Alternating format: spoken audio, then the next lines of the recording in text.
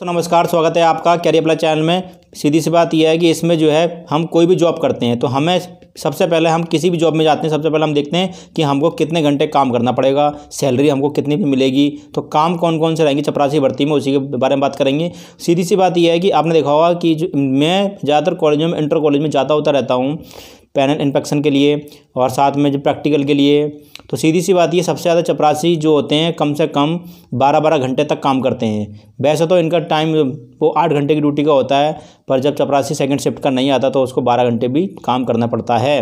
तो सीधी सी बात यही है, और कुछ मैंने चपरासी ऐसे देखे हैं, जो मैनेजमेंट के खास रहते हैं, केवल सिग्नेचर करते हैं और अपने खेतों में जाकर ट्रैक्टर चलाते हैं। ऐसे चपरासी, मैंने सरकारी चपरासी 2008 में जो भर्ती हुए थे, ऐसे भी मैंने चपरासी देखे हैं, जो उनके खुद का मतलब किसी रिश्तेदार का कॉलेज होता है साइन करने के बाद सुबह निकल जाते हैं, खेतों पर गन्ना काटते हैं, गन्ना लेके जाते हैं, काम और ड्यूटी यहाँ पर चढ़ती रहती है। मतलब ऐसे चपरासी भी मैंने देखे हैं। तो मतलब क्या है कि मतलब क्या होता है, जहाँ जैसा देखते हैं। तो अब जो चपरासी भर्ती आ रही उसमें जो है, काम के लिए मैं आपको बताना चाहूँगा कि स्कूल जो होता है, स्कूल खुलने से एक घंटा पहले चपरासी आता है। सीधी सी बात यह है क्लर्क और चपरासी जो होते हैं, वो एक घंटा पहले आते हैं। टीचर जैसा हमारा स्कूल आठ बजे का तो तो हमें चपरासी जो सात बजे आना पड़ेगा।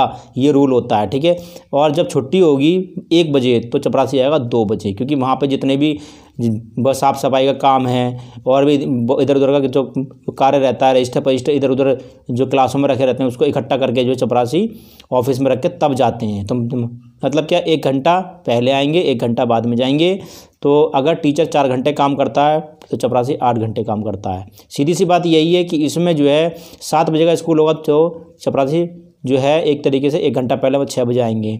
और बारह बजे तक स्कूल चलता है तो एक बजे आप चपरासी जाएँगे, एक घंटा के बाद जाते हैं, ठीक है? तो मैनेजमेंट के जो खास होते हैं, वो आपने देख सकते हैं, वो एक घंटा क्या, वो पूरे दिन भी नहीं आते हैं, साइन करके चले जाते हैं। तो वहीं, वही चीज़, क्योंकि ये कॉलेज जो होते हैं, असास की सहायता प्राप्त माध्यमिक स्कूल जो होते हैं, ये मैनेजमेंट के थ्रू होते हैं। और जो इसमें किसी राजकीय नहीं होता है जीआईसी नहीं होता, जो बाहर से आके जो पैनल वगैरह करेंगे, ऐसा कुछ नहीं होता, ठीक है?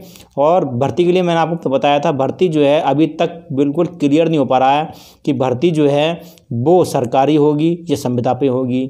इसमें बस केवल विवाद यही बना हुआ है, नए आयोग से कराई जाएगी या पुराने आयोग से कराई जाएगी।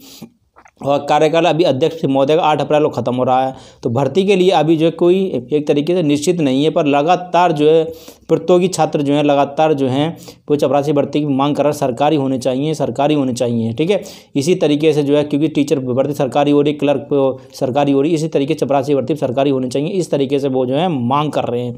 अब देखते हैं मांग उनकी कहाँ तक सफल होती है। सीधी सी बात यही है कि इसमें जो है अगर भर्ती आती है, इसके जनवरी के लास्ट लास्ट चल ही रहा है इकतीस तक आ जाए, या अट्ठाईस तक आ जाए, इसका विज्ञापन तो अच्छी बात है। और अगर जो है एक परसेंट, फ़िलहाल नाइन्टी नाइन परसेंट आ जाता अगर नहीं आता एक एक परसेंट नहीं आता है। तो लगातार जो है संपर्क साधे हुए हैं। मतलब क्यों नहीं आ पा रहा है आयोग का? मतलब कोई नया आयोग के चक्कर में आए, भर्ती अटकी हुई है, सरकारी संविधा की अटकी हुई है। मतलब जो भी इन्फॉर्मेशन मिलेगी, सबसे पहले जो है मेरे चैनल के माध्यम से आपको इन्फॉर्मेशन मिल जाएगी। बस चैनल को आप सब्सक्राइब कर लीजिए और बेल आइकन प्रेस कर लीजिए। कोई वीडियो अपलोड करता हूँ, सबसे पहले आप तक आ जाएगी। वीडियो को लाइक कर दीजिए और चैनल सब्सक्राइब कर लीजिए। Please subscribe my YouTube channel career plus thank you very much